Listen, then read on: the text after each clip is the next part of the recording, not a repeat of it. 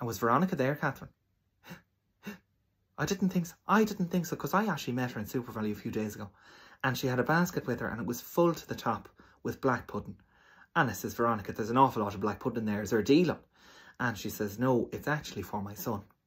And she says that her son Cathal, she's after having an awful lot of bother with him because she says she's after finding a hickey on his neck, Catherine. And she was thinking, right, he's 18 years old. It's none of my business. It's probably a new girlfriend or boyfriend.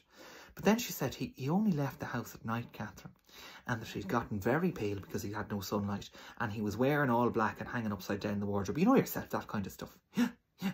But anyway, she thought, right, fine, none of my business, whatever. And she got a call then, Catherine, from Father Gillespie the other day. And they'd be friendly from growing up or whatever. And he says, I'm only ringing you, Veronica, because I know you. And I would have called the guards otherwise. She said, what's after happening? He says, I says, I'm after finding Cathal in the graveyard, Catherine, biting into some fella's neck and sucking him off. well, sucking his blood, sucking his... Yeah, Ashton give out to me for that as well. I have... You don't know what you're saying anymore, Catherine.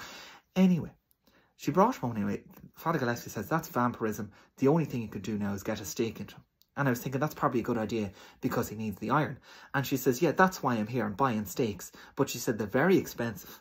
So she's bought a basket full of black pudding instead. Yeah. Well, it wouldn't be like her to worry about money, Catherine, because I know the husband is from money anyway, Catherine, because he's from, is it Romania he's from, Catherine? And he's some kind of a duke or an earl or something, Catherine. But he'd be very, you know, he'd, he'd have money himself. He's an accountant. Yeah. Well, it's hard to tell what kind of an age of a man he is, Catherine. He's very seductive. Because I met him outside the church in Tullamore that time of the wedding, Catherine. And he says, I won't be allowed in there because I'll burst into flames. Yeah. Well, I, that's what I said. I says, I, I know someone else like that. Her name's Catherine. oh, Cat, no, when he messing Catherine, I didn't say that. I didn't say that. Anyway,